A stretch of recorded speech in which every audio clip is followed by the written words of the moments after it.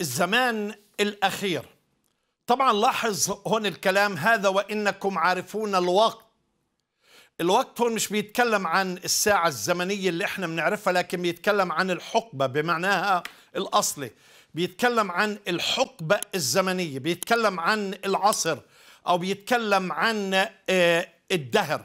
وهذا طبعا يعني في مرحلة معينة الكتاب أو الله بيتعامل في حقبة زمنية معينة. فمثلا في تيموثاوس الأولى إصحاح أربعة مكتوب ولكن الروح يقول صريحا بنتكلم بنتكلم عن الزمان الأخير أو الأزمنة الأخيرة. ولكن الروح يقول صريحا إنه في الأزمنة الأخيرة يرتد قوم عن الإيمان تابعين أرواحا مضلة وتعاليم شياطين. في رياء أقوال كاذبة موسومة ضمائرهم وطبعا بكمل وتشوف نفس التعبير مذكورة في رسالة تسالونيكي طبعا اللي بيتكلم عن الارتداد العظيم. وهون بيتكلم يرتد قوم عن الإيمان تابعين آه، أرواحا مضلة وتعاليم شياطين. ثم إذا نقرأ في تيموثاوس الثاني إصحاح آه، ثلاثة خليني أبتدي من الآية الأولى. ولكن اعلم هذا أنه في الأيام الأخيرة يعني إحنا قلنا هون في في الأيام الأخيرة أو في الأزمنة الأخيرة يرتد قوم عن الإيمان.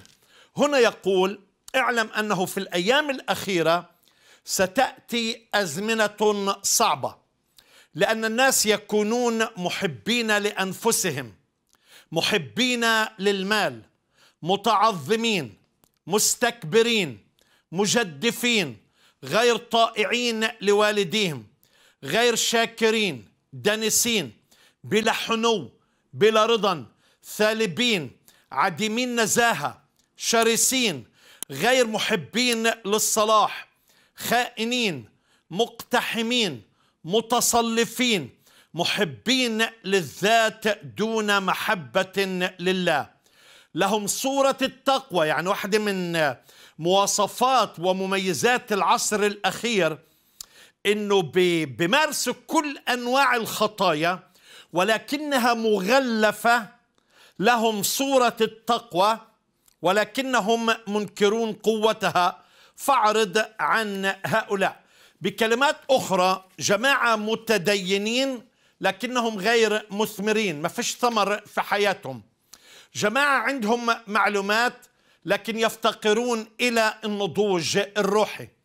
جماعة بتتكلم كتير ولكن حقيقة عايشين عكس الكلام اللي بيتكلموا بيتكلموا كلام كبير ولكن ما بيطبقوه عمليا على حياتهم أولا. لهذا السبب يقول إنه راح تكون أزمنة صعبة أزمنة أخيرة يرتد قوم. آه، يأتي الارتداد اولا.